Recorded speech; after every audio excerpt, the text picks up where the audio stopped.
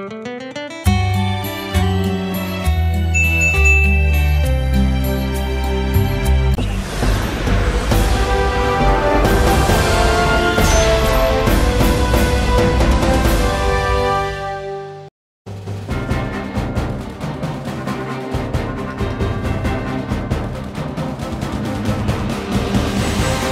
मैं सूरज कुमार और आप देख रहे हैं पल पल।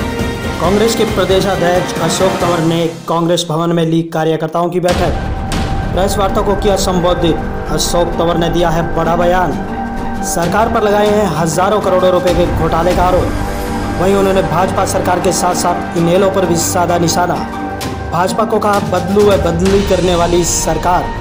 चार सालों में रही है सरकार बिल्कुल पूरी तरह से विफल। वहीं नेलो द्वारा प्रदेश कार्यकारिणी की बैठक में अशोक तंवर ने कहा कि इंडियन नेशनल लोक दल अब चाहे मीटिंग करे या कुछ और इनेलो टूटने की कगार पर है। उन्होंने कहा कि इनेलो ने हमेशा ही जनादेश का अपमान किया है और साथ ही इनेलो कार्यकर्ताओं को कांग्रेस में शामिल करने के लिए न्योता भी दिया। इसी के साथ आप देख रहे हैं पल पल की ये खास रिपोर्ट अमर सिंह जानी के साथ। और जाने डॉक्टर अशोक तंवर ने क्या बयान दिया?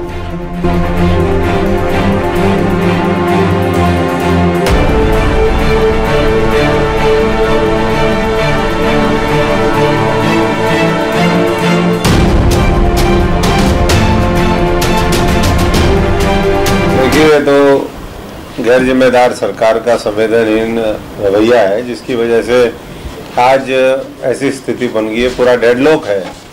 बार बार उनसे जो वायदे किए गए, कम से कम 20 बार पिछले, और ये मैं कम से कम बोल रहा हूँ, ज़्यादा, इससे ज़्यादा भी हो सकती है। पिछले चार वर्षों में रोडवेज़ के कर्मचारियों को सड़कों के ऊपर ऊपर उतरना पड़ा, चक्का जाम करना पड़ा। और मैं समझता हूँ कि ऐसे ही और भी तमाम जो कर्मचारी हैं उनकी भी हालत कोई इनसे बेहतर नहीं है।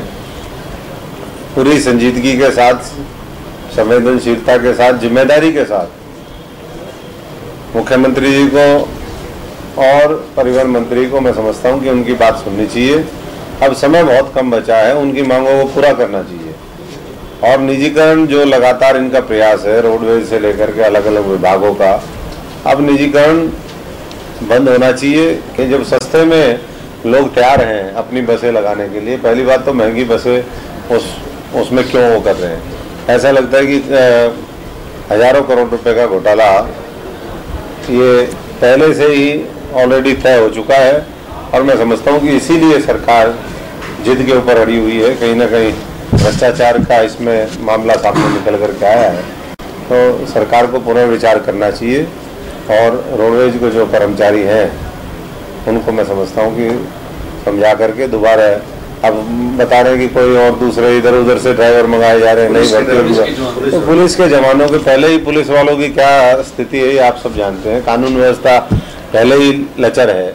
ऐसे में पुलिस के जो ड्राइवर हैं तो अगर कहीं कोई घटना घट गई तो वो कहाँ से जा करके वो करेंगे? सरकार की कोई उपलब्धि नहीं है। सरकार ने केवल झूठ बोला है। झूठ के सारे प्रदेश को पूरी तरीके से बर्बाद करने का काम किया है, लोगों को विभाजित किया है जाति और धर्म के नाम पर। और इसीलिए चार साल उनके हैं, केंद्र की सरकार के साढ़े चार साल हैं। हमने ये तैयार करवाया है। हमारा जनसंपर्क अभियान वो शुरू हो चुका है, नौ तारीख से आज भी में हमारी मीटिंग है। ये मोदी सरकार की विफलता का पूरा चार्ट है। ये प्रदेश की सरकार का है। खट्टर सरकार ने क्या किया, क्या नहीं किया, ये उसका सारा काला चिट्ठा है। ये यूपीए और एनडीए के समय में जो आंकड़े थे, ये आंकड़ों का मामला सारा हर चीज़ का तथ्य दे करके हम उसको करेंगे। और ये ऐसे स्थानीय स्तर पर अलग अलग साथी ने अपने अपने ये पम्फलेट बनवा रखे हैं और एक कांग्रेस की पाँच तरह के पम्फलेट लेकर के कांग्रेस जनसंपर्क अभियान साधने का काम करेगी। साथ साथ अब हर बूथ के ऊपर कम से कम दस सहयोगी हों, ये सुनिश्चित करने का काम कांग्रेस करेगी। एक सहयोगी दस हमारे 20 से 25 घरों को वो संभालने का काम करेगा। सौ सहयोगियों के ऊपर हमारा एक एरिया बूथ कोऑर्डिनेटर लगेगा और ये लोग जहाँ प्रचार प्रसार पार्टी का करेंगे, हर घर में जाएँगे। उसके साथ साथ कांग्रेस के लिए क्योंकि गरीब पार्टी है और मैं समझता हूँ कि गरीब पार्टी में हमेशा आज़ादी की लड़ाई से लेकर के आज तक लोगों के सहयोग से ही कांग्रेस ने देश और प्रदेश की समाज की लड़ाई लड़ने का काम किया गरीब किसान मजदूर के राज को स्थापित किया है। हम लोगों के बीच में जाएँगे और पचास, सौ, पाँच सौ, हज़ार इस तरह की जो पर्चे हैं, वो लोगों के बीच में जा कर के वो करेंगे। तो हमारा पूरी तरीके से भाजपा, इनेलो और जो लोग आने वाले समय में झूठा प्रचार करके धार्मिक प्रचार करके, लोगों की भावनाएँ भड़का करके सत्ता हथियाना चाहते हैं, उनको एक करारा जवाब। हमारी, हमारे, मैं तो यही कहूँगा, किसान भाइयों को कि सबसे पहले तो हम कोशिश करें कि पराली ना जलाई जाए, लेकिन इसका परमानेंट समाधान जो है, केंद्र की सरकार को और प्रदेश की सरकारों को मिलना करके इसका निकालना चाहिए। और हमारी जब सरकार होगी, हम यह विश्वास दिलाते हैं कि हरियाणा देश के अंदर पहला प्रदेश होगा, जहाँ पराली पूरी तरीके से, हम किसानों की सहमति के साथ उसको हम अच्छे तरीके से, उनको बोनस दे करके या जो भी उसका समाधान निकल सकता है। मशीनें दे करके बड़ी मशीनें उसमें लाई जाएँ, उसको सब्सिडाइज किया जाए, ताकि हम इस पूरी समस्या को, क्योंकि अभी से दिल्ली के अंदर पूरा जो है, वो प्रदूषण लेवल बहुत बढ़ना शुरू हो गया है। लोगों को बहुत तरह की समस्याएँ हैं। और इसका जो है, सेहत के ऊपर भी और पूरे पर्यावरण के ऊपर असर पड़ता है। तो किसानों को जहाँ हम एक तरफ़ जब, ज़ोर ज़बरदस्ती करने की कोशिश करते हैं, अब केस बनाने की बात करें वही मैं समझता हूँ कि उनको हम तालमेल के साथ प्यार से अगर उनके साथ इस काम को करेंगे तो इसके बेहतर परिणाम हो सकते हैं। तो सरकार को बजाय इसके कि हम हर चीज़ में वो करें ठोस कदम उठाने चाहिए रणनीति बनानी चाहिए मशीनें और उपकरण देने चाहिए उनको उचित तरीके से आर्थिक तौर पर अब कंपनसेट अब मीटिंग ले लें कुछ ले लें मीटिंग करें सिटिंग करें। अब जो है मामला पूरी तरीके हम तो पहले भी कह रहे हैं, मामला तो पहले ही निकल चुका था, लेकिन अब तो बहुत कोसों दूर चला गया है। जहाँ आईएनएलडी हमेशा ये कहती थी कि कांग्रेस में मुख्यमंत्री पद के इतने उम्मीदवार हैं।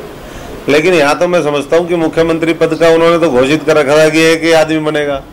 लेकिन उसके बावजूद भी चार लोग एक साथ नहीं रह सकते, एक ही परिवार के लोग। तो आप समझ सकते हैं कि इन्हें लोग किस दिशा में आगे बढ़ रही है। पूरी तरीके से लोगों ने जो जनादेश दिया था, उसका इन लोगों ने अपमान किया। और ख़ास तौर से अगर सिरसा पार्लियामेंट की बात करें तो मैं समझता हूँ कि अब इनेलो जिस तरीके से टूटने की कगार पर है, उन सब साथियों को जो इनेलो के वरिष्ठ नेता हैं, दूसरे कार्यकर्ता हैं, जो इस फूट से, झूठ से, लूट से और खूनी संघर्ष से तंग आ चुके हैं उनको मैं कांग्रेस में आने का आह्वान करता हूँ।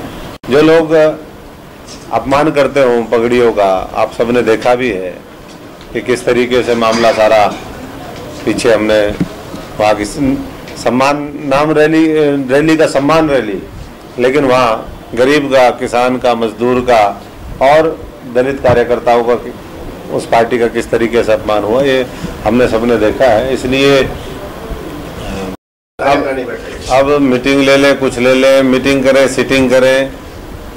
अब जो है मामला पूरी तरीके, हम तो पहले भी हैं, मामला तो पहले ही निकल चुका था, लेकिन अब तो बहुत कोसों दूर चला गया है। जहाँ आईएनएलडी हमेशा ये कहती थी कि कांग्रेस में मुख्यमंत्री पद के इतने उम्मीदवार हैं।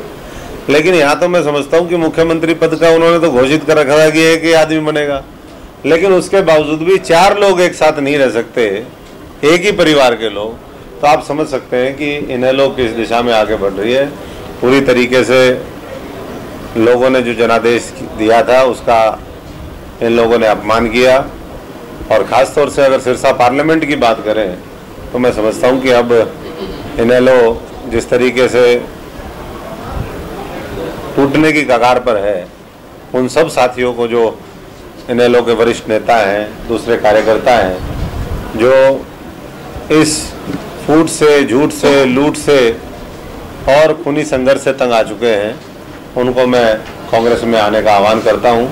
जो लोग अपमान करते हो पगड़ियों का, आप सबने देखा भी है कि किस तरीके से मामला सारा पीछे हमने वहाँ की सम्मान, नाम रैली रैली का सम्मान रैली, लेकिन वहाँ गरीब का, किसान का, मजदूर का और दलित कार्यकर्ताओं का उस पार्टी का किस तरीके से अपमान हुआ ये हमने सबने देखा है। इसलिए